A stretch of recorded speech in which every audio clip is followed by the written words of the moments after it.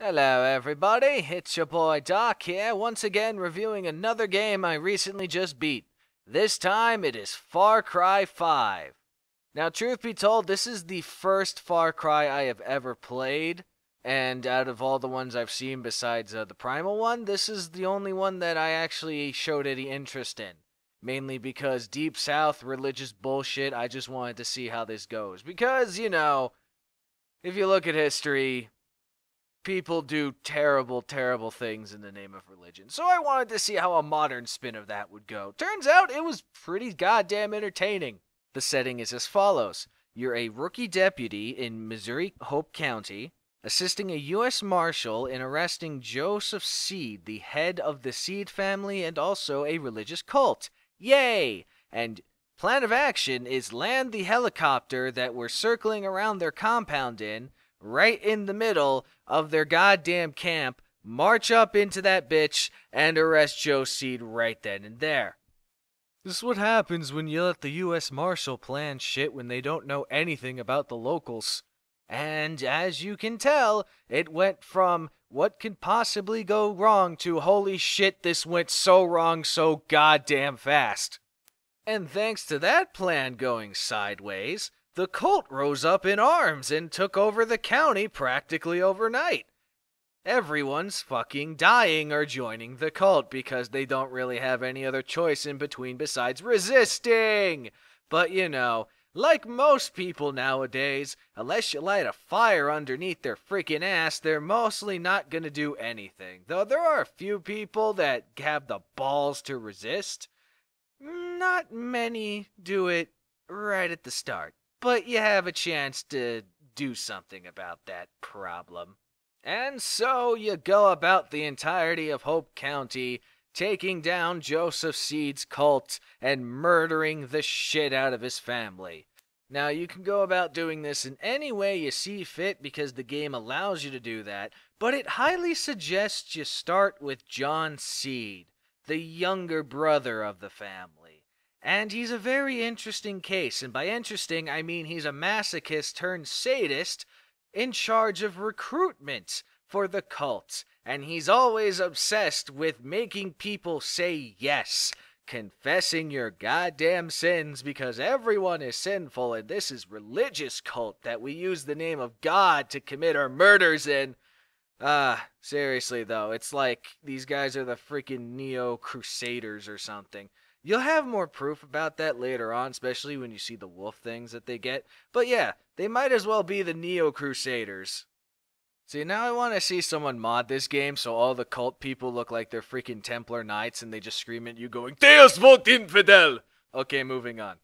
As you go about your way, fighting cultists and doing all the missions, or at least the main missions if you're one of those people, you get to find a few rather interesting comrades that are referred to as hired guns.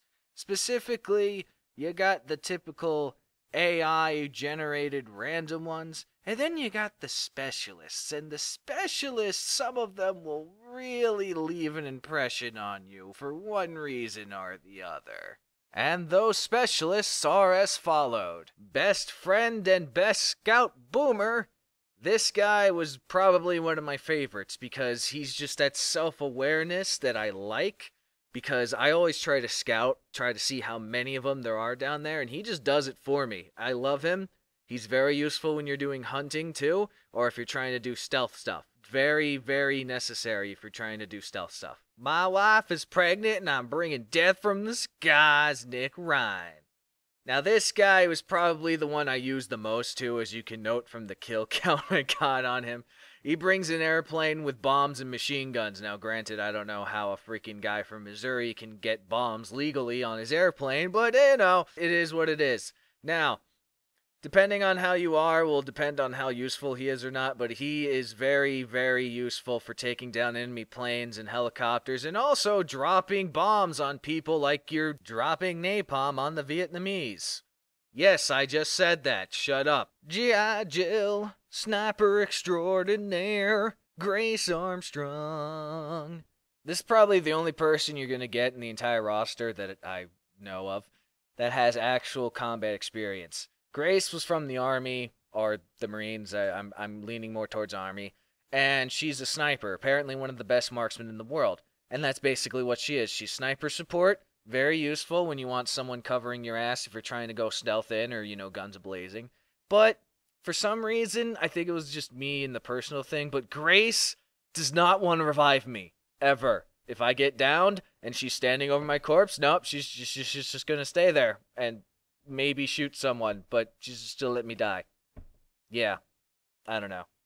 I like her, but she's like, what the fuck? I have diabetes because people kept feeding me my name. Yeah, it's a bear. His name's Cheeseburger. I don't know why they decided to name him Cheeseburger, but yeah, he's a bear. Very useful. He's a tank. And also, he's so cuddly and fluffy for a bear, it surprises me that he doesn't want to maul my face off. I got daddy issues, so I make up for it from making things explode. Hurk Drubman Jr. Now, this is kind of what most people would expect a typical southern redneck to act and look like. And honestly, he kind of just proves that stereotype very, very true when people think about it. Now, not all Southern people are like this, of course, but he's he's a prime example of what a lot of people think that Southern people are. But hey, he's entertaining. The shit he says is pretty fucking funny. And he comes with a rocket launcher. So yeah, excellent anti-vehicle person. He's also cousins with the guy who's right beneath him, and if you have him and the cousin together, they're pretty fucking funny too with the shit that they say like I said, very useful anti-vehicle person, and also kind of entertaining. Uh, killing cultists gives me such a raging boner, Jess Black, who's apparently the niece of the one guy who helps you at the very beginning of the campaign missions. But we'll not worry about that right now. She's got a bow, she's pretty handy when you're doing stealth stuff, very useful if you're trying to do it that way. Now, on a personal note, I'm kind of mad about her character but I also appreciate it at the same time because Jess here is an example of when everything goes to chaos, there's people in there who fucking thrive in that shit. That's what Jess Black is. She even openly admits saying that she enjoys killing the cultists of Eden's Gate and she just enjoys the overall situation even though it's kind of fucked up. Like she it's like a love-hate relationship with her. She even goes as far as like saying, you know, when everything's over, like, what am I supposed to do with my life? And I'm just like, become a hunter or a bounty hunter? Kind of the same thrill, but not as much. So Jess adds a bit of an element that actually is real, and the whole chaos creates people who just want to survive and people who thrive in that bitch.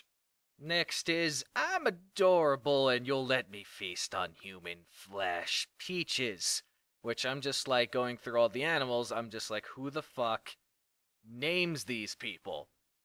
Turns out her owner is a very, very mean old lady, and I'm just like, I could kind of understand how you managed to tame a cougar of all things, but I'm just like, really? Peaches here is pretty good for the stealth route and also for hunting. Because as a cougar, stealth is kind of their thing. They sneak up on people and bite their fucking necks. And you're just there when all the shooting and the bodies are going, and I just see Peaches like feasting on a body. Granted, they don't show you anything because there's so much you can show in a video game, but the motion's there, and it creates the image of like, okay, I'm, I, I, I'm, I'm questioning how this is working, but it is.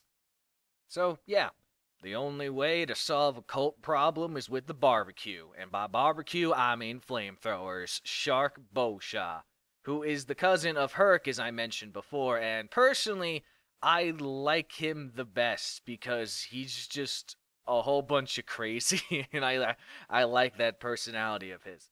Now, when you meet him first, he has a flamethrower, and you help him kill what's referred to as angels, which we'll get to that later. And from there, he just gets a shotgun that also has incendiary bullets. So, yeah, it's all fun. Plus, when you call him initially, he always comes with a truck with a mounted turret on it. So I'm just like, that's a plus. That helps a lot, buddy. Thank you. Now let's go kill more cultists. And like I say, you get Shark together with pretty much anyone who's a human, and he creates a lot of funny conversations. Like he's hitting on Grace before. Uh, him and Hurk have like the craziest shit that they say, and it's overall like very, very entertaining with him. So even if you don't like him for his weapons or whatever, I mean, you can't go wrong with Flamethrower regardless. But he's very fun. I like him. And last but not least, Cougar with the Chopper. Yeah, you heard me right, Cougar with the Chopper. Adelaide Drubman is the divorced wife of Hurk Sr., and obviously, if you didn't draw the dots already, Hurk's mother. However, I did try to pair her with Hurk before, and I haven't experienced any dialogue between the two. So, I don't know. That might be me a thing.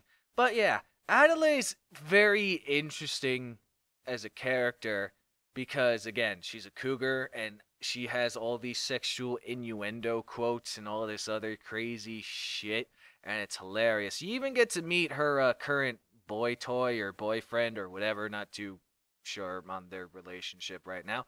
Yeah, and he's kind of weird, to say the least. But hey, to each their own. Now, I did get a few funny conversations between Adelaide and Nick up there because Nick's just one of those people who are just like anything that Adelaide says, Nick just doesn't know how to say anything to, and it's kind of funny because it's that awkward bullshit relation. But yeah, so pretty straightforward. She brings in a chopper, has machine guns. Chopper gets shot down for some reason. She's still up. She can come as a gunner. Has a very good I want to say Eagle Eye in a sense because I've had her on the ground before a few times and she's pretty goddamn accurate with a rifle. So it depends on the situation, which, you know, her chopper's better or, you know, hers uh, additional fighter would be better. I use her discreetly, mainly because, especially later on, like choppers get shot down like fucking nothing happens if you're not moving around like a crazy fucking maniac like I do sometimes, but you know, it is what it is. Useful, kind of funny, and overall that's that's all the specialists that you're going to get. Now, as you noticed, they have two tabs on the thing, specialists and fighters. Fighters are those AI recruited people I've mentioned before. You can have up to 3 of them in your roster. They're all right. Some of them have pretty interesting dialogues, others are like okay. So, there's a lot of them to choose from. And that's the best thing about this game, really. You can do it however the hell you want. You can be stealthy, you can just murder things in explosive ways. You can steal a helicopter like I'm doing right now and just literally strafing the fuck out of people, occasionally shooting rockets if you got rockets equipped to the damn things. The only thing that kind of annoys me though with aerial combat, at least with uh, using rockets and bombs and shit, is that when you run out, the thing tries to make you pay money in order to replenish your freaking explosives. Now, granted, this is an easy fix. You just literally steal another helicopter that has explosives and, you know, just use it from there. But anyway, you get to see like a lot of crazy shit going out through this game and also a lot of like, why the hell are you not dead moments like this person right now. Literally got chain reaction with that explosion, hit a freaking tree, and somehow lived. Go figure how that works. But anyway, it's entertaining too if you actually do a lot of the side missions because that's where a lot of your comedy shit comes into play. For example, this one that I'm doing right now, this is where you try to bait these angel fuckers, and those are those things that are glowing right there. Now, angels are basically like zombies. I'll explain a little more on how that shit works in a moment, but yeah, you put down this bait thing and all anarchy happens in the side mission. It was fucking crazy and I loved it back to what I was saying. Like I said, there's a lot of shit you'll find out that are pretty crazy. I even got out the map one time, and there's also some interesting sites that you'll see too that make you question why is this a thing and how did this happen? And even if you just skip like the main eh, to the main story mission stuff, you get to see some pretty interesting things even regardless. For example, that archway with all the freaking ravens painted on that shit. That was fucking creepy when I saw that shit. Hey, I finally got to answer the question. Helicopter versus World War II era plane. Who wins? Turns out, It's the helicopter, bitch! Going back to the main story, when you gradually work your way up and build up resistance points and stuff, there'll be certain instances, roughly like three per each region, where you're going to get your ass kidnapped in one form or the other. And it somewhat annoys me because when you get kidnapped in certain ways, and especially later with the later kidnappings, there's certain things that happen that don't allow you to do certain other actions afterwards. And me being someone who wants to experience as much as I possibly can, I'm one of those like completist type people, but I'm not too zealous about it. I try, but if it's too much work, I just say fuck it. But it's like things that I'm just like, let me finish what I'm doing before you kidnap me, you douchebag. And it's just, it was just a turn off. But overall, not too bad of a thing. You get kidnapped by each of the people John, Jacob, or Faith, and they kind of explain to you a bit on how they perceive Joseph here going about. Uh, you get an idea of what they are, who their characters are, and all this other fun shit. And also, you know, the beliefs of Eden's Gate, obviously, because everyone's obsessed with trying to turn you to their faith instead of just straight up killing you. Because we're people of God. We want to save as many people as possible, yet we kill everyone who isn't a non believer. Yet we don't kill the one person who's causing us the most freaking trouble. Yeah. And you wonder why I don't believe in organized religion at all. Eventually, once you cause enough of a thorn in their sides, you'll cause a confrontation with one of the three heralds and as many people probably did, I started off with John, murdering him after having a dog fight with him, which I can't fucking plane to begin with, so that just turned into me going on the ground with a machine gun and just gradually shooting at him until he fucking died. Which works, surprisingly. After your miraculous dogfight, John somehow survives, makes it to ground, and then you have to either kill him before he gets to his compound or as he gets to his compound. Either really works. And in typical villain style, he gets in his last says before he miraculously dies, which appeared to be me punching him to death repeatedly. I just took a bullet to his head just to be safe. I'm, I'm a firm believer of zombies, and I do not want to risk that bullshit. And then you move on to your next target, which can either be Faith or Jacob. Personally, I went with Faith. Faith is a rather enigma case in comparison to the rest of the family. And personally, given how she is in the quote bliss, how she moves, how she acts, and all this other crazy shit, I firmly believe that she is a goddamn witch, and I will stand by that belief. Thank you very much. Faith, as hinted by her name, is in charge of keeping the faith with Eden's Gate's members. How does she do this? Quite simple. Preaching the words of the Father repeatedly over and over again while getting everyone addicted to the bliss. And the bliss is something that's like an acid trip had fucking babies with steroids, okay? It's crazy how insane this shit freaking is. What is the bliss, you ask? Well, it's something that's made from this bellflower looking thing. It's basically nature's insane acid trip.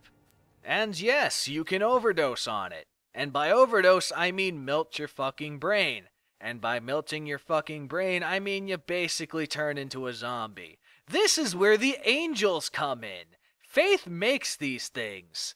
They are basically the closest thing you're ever going to get to a zombie in this game without it actually being a zombie. Now, it's not limited to freaking humans. No, animals can overdose on this shit too. And they. they bend the laws of fucking physics. Basically, standard issue angels can only be really, really killed for sure with headshots or burning them to death. You try to do the chest shots, they might go down, but they'll come back up again almost all the time, and you have to put more bullets into them for them to go down again. As you can see, Faith is really problematic. On top of this shit, she's also a goddamn witch. Just like in her brother's territory, when you fuck things up enough, she'll come trying to strike at you. Which she gets to use her witch fucking powers to fight you, floating, shooting these energy ball lasers things. If I had my flamethrower, I would be burning the witch, but unfortunately I didn't, so I had to make do with bullets.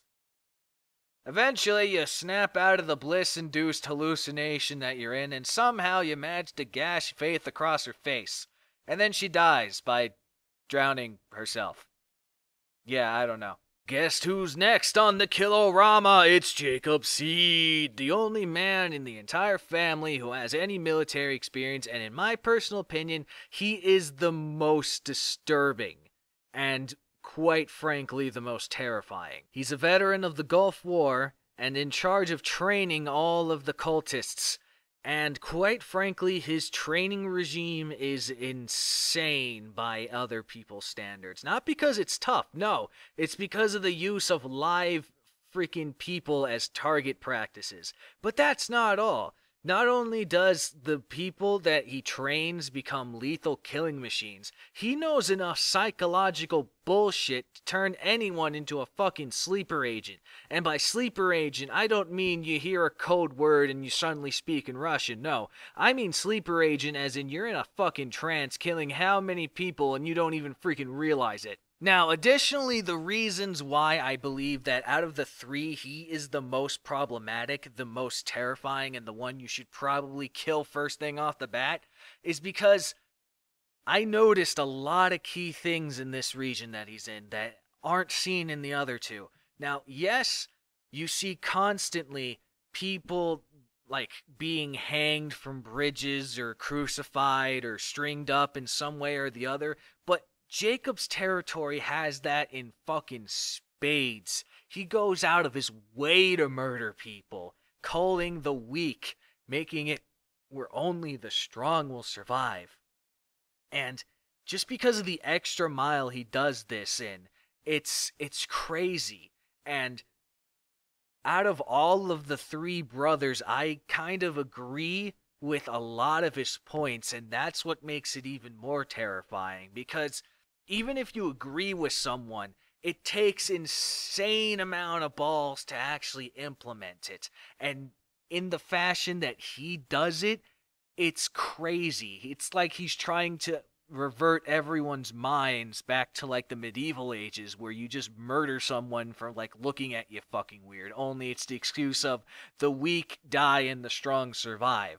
Now, yes, John's terrifying in his own right because, like I said, he goes out of his way to torture the shit out of people in order to confess their sins and make them say yes. Yes, Faith is also pretty fucking terrifying for her masterful use of the bliss being a manipulator and the insane amount of brainwashing bullshit she can do to someone. But it's Jacob. In my opinion, it's Jacob who is the most terrifying of the three. And he doesn't give a fuck how many people he kill. He doesn't care what the hell he has to do in order to fulfill his duty. That's who he is. He's a goddamn soldier. You can tell how professional he is and how different he is from his other two siblings.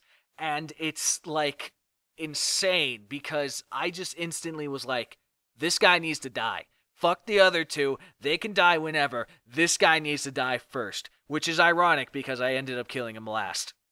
And that's the thing too, like with that psychological bullshit he freaking does, he doesn't even need to kidnap you anymore at certain points. You're like subconsciously fucking programmed with your musical bullshit that he pulls off, which again also really pisses me off because this is the one region where if you don't do certain missions before these kidnappings start, you're not going to be able to do them and this this annoyed the fuck out of me, but I'm just like, "All right, fuck it, we'll go with it." In the end, though, his programming actually works, and you end up killing someone who was part of your circle, which is like, again, my point of how fucking terrifying this guy is. But because you are, in a way, free of your programming at that point, you go hunt him down and you freaking murder him. However, he is the only region head of the Eden's Gate cult where when you kill him, you don't liberate the region because he's trained his people to survive without him. And again, this is the point I'm trying to make. Jacob is the most fucking terrifying of the three. And then you take a step back and realize Joseph Seed is even more terrifying because he manages to captivate all these different people. And that's what makes him the greatest goddamn threat out of the lot of them. Speaking of Joseph, every time you kill a member of his family, he goes about like this speech like he's talking to his followers or maybe it's to himself who even knows and he explains a bit about the like final words if you would about the member you just killed. Now given how this goes you only get to hear two of them before like the third one where he's like showing a moment of weakness like break in his normal characteristic and he just loses his shit for a moment.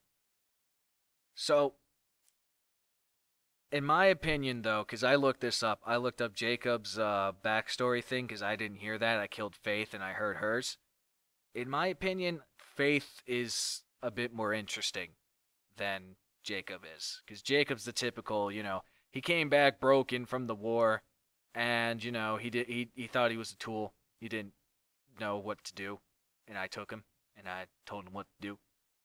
Yeah, that that's that's basically the gist of it. Faith is more interesting because it shows that she wasn't the first person to take the name Faith Seed. She was the most devoted, but she wasn't the first one, which begs the question, how many did you go through? It's little little details like that that I'm interested in in times. But anyway, after you murder the rest of his family and basically liberate almost all of Hope County, you go back to where it began. His complex. Only this time there's not a bunch of fucking crazy cultists all gathering around you, about to swarm you and maybe kill you at a moment's notice. Only you're greeted by the man himself and almost all of your specialists and a bunch of other people that he somehow brainwashed along with their hostages, and he presents you with a choice. Either keep fighting or get the fuck out of my county. You have a choice. This is where the ending's different. But obviously, if you're one of those good sport people and you like the good fight, you're obviously going to resist. To which Joseph Seed turns out to equally be as much of a witch as Faith was, because all this crazy bullshit goes on as you're fighting. But hey, it's all good. You want to know why? Because the greatest thing you get to do after you somehow break the brainwashing of all your friends is mow down Joseph Seed with a goddamn MG 42, man. That was the highlight. I love that fucking gun, by the way. MG 42 for the win! But then, surprisingly, he's not dead even though I shot him enough times with the MG42 to make fucking Swiss cheese out of his body. He looks at you one last time, speaking crap, about to arrest Joseph Seed when you find out Joseph Seed was right all the long. Everything you did was wrong, and he was right. And now the world's ending because some asshole, probably Russia, but I wouldn't put it past either North Korea or China either, decided to start the nuclear holocaust and fuck up everything. But hey, look at it this way no more corporations and asshole politicians telling you what to do. It's just you're gonna have to do with the nuclear fallout. And guess what? You spend all 17 years between now and the next game with Joseph Seed in a fallout bunker.